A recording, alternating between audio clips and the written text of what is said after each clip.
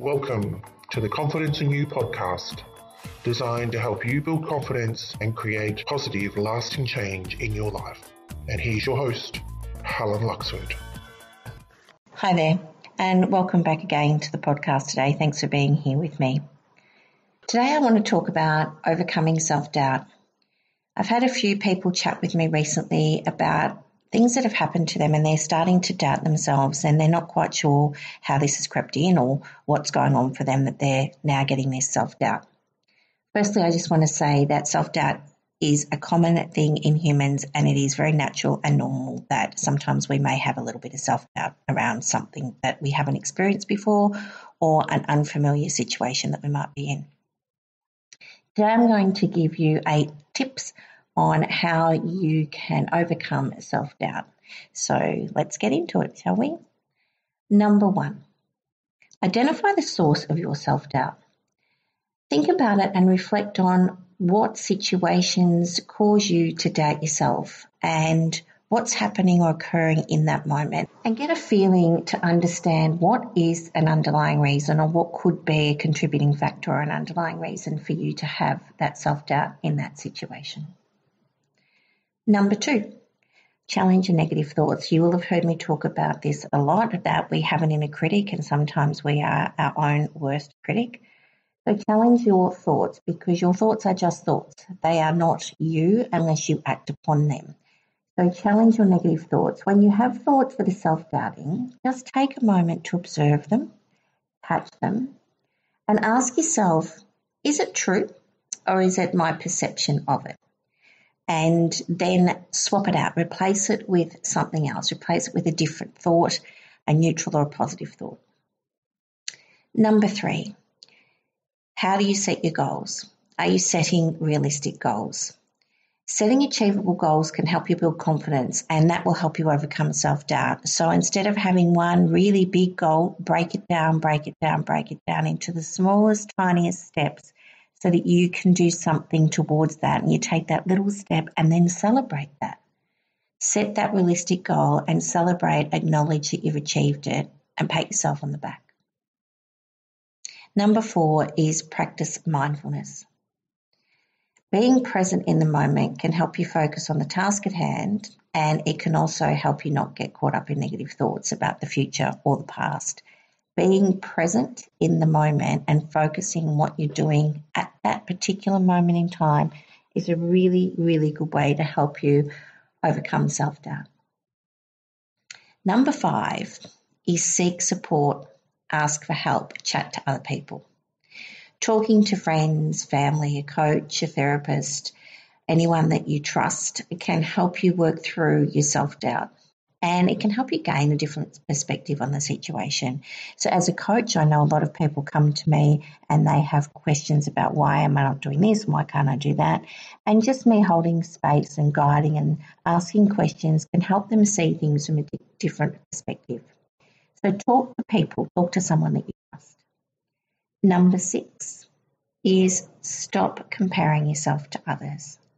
And this is a really big one in today's modern world. We see the Insta life, we see what everyone else has got going on, but we only see the good things. And then we look at our life and we've got the ups and the downs.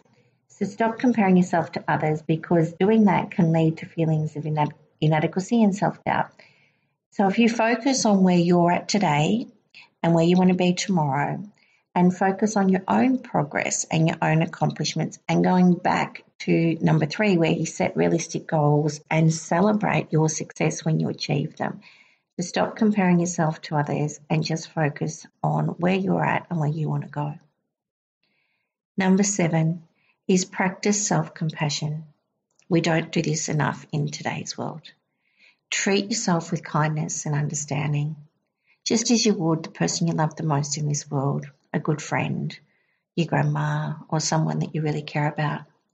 Treat yourself the way you would treat them. Be kind to yourself.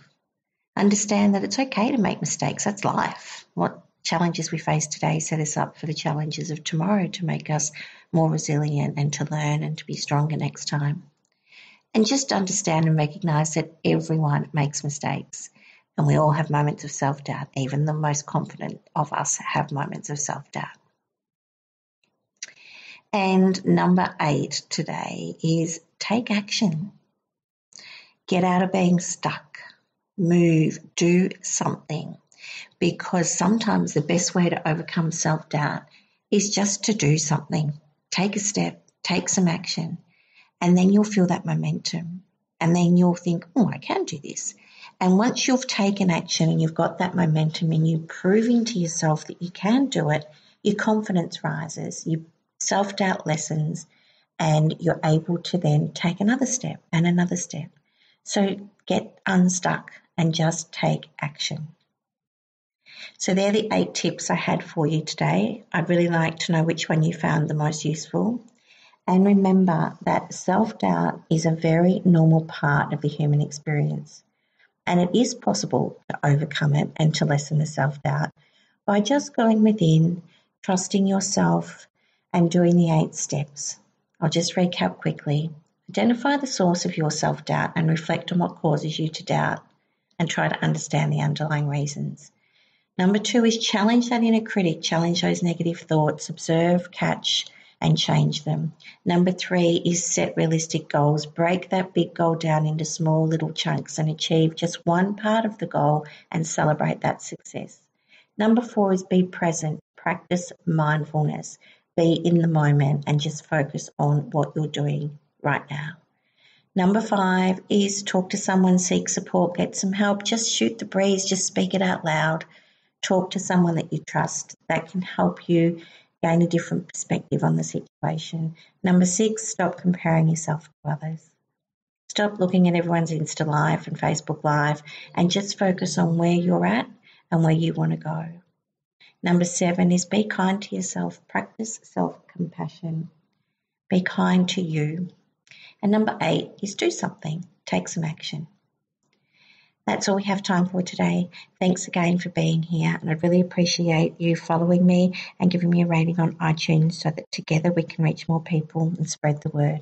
And remember, let your light shine. Until next time, bye for now.